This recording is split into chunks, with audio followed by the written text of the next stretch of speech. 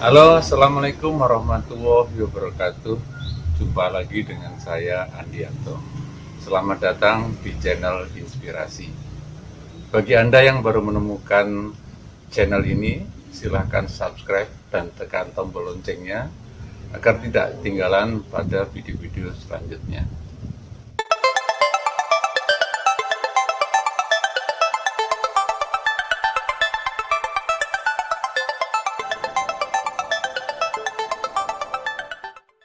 Pada sore hari ini, saya sedang berada di SD Kedua 2, Kecamatan Kedu, Kabupaten Temanggung.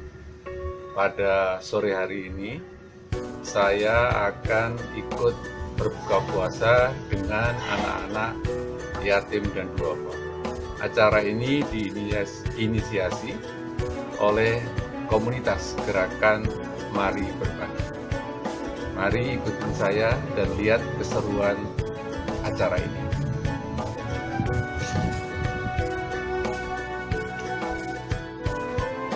Selamat sore Bu Ning. Selamat sore Wandi. Uh, saya ingin tanya-tanya kegiatan acara hari ini. Oh ya boleh. Uh, sebelumnya boleh Bu Ning ceritakan dulu tentang komunitas gerakan Mari Berbagi ini apa sih? Uh, begini ya Pak Andi.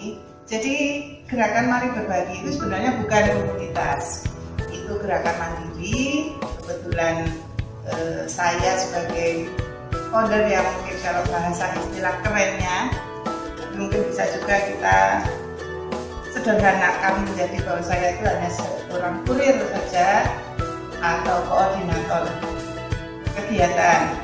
Di GMP itu eh, sudah ada sudah bergerak atau berkegiatan sejak bulan sekitar bulan Agustus tahun 2013. Ya. Ya, jadi sudah enam tahun ya. Tahun ya. Ya, alhamdulillah sudah enam tahun. Nah, kemudian ya, berkaitan dengan acara pada sore ini, kira-kira apa tujuan?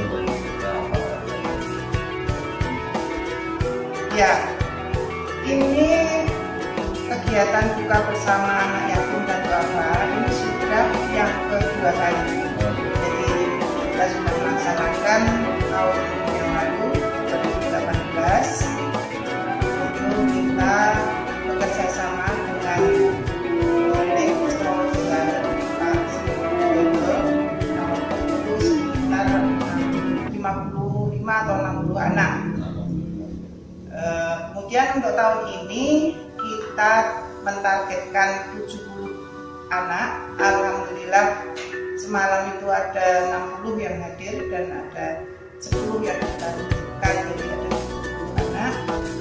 Kemudian ya alhamdulillah itu berkat dari donatur ya dari para donatur yang sebenarnya kita tidak sangka akan secepat ini karena acara Alhamdulillah surau Sumatera kita gagas hanya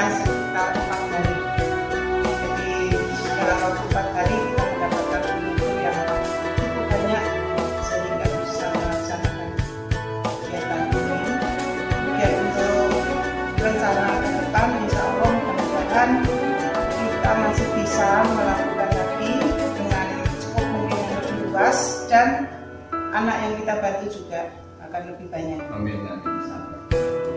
Nah, itulah tadi wawancara kami dengan Bening. Uh, mudah-mudahan video ini bermanfaat. Bila dirasakan baik dan bermanfaat, silahkan berikan like dan share agar dapat memberikan manfaat. Jumpa lagi dengan